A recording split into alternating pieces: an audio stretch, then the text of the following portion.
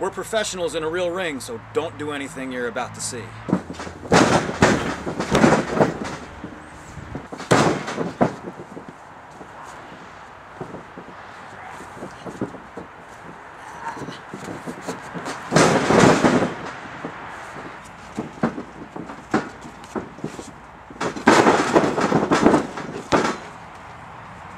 This is the Orton backbreaker.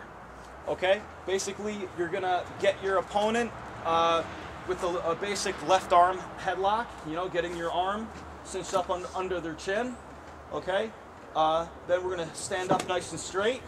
Okay, and then the attacker is gonna turn his body around, and then what he's gonna do is he's going to drop down on both of his knees and and uh, onto his right arm here too and uh, at the same time uh, uh, taking the bump and loosening up his uh, his left arm so it's not too tight when they take the bump.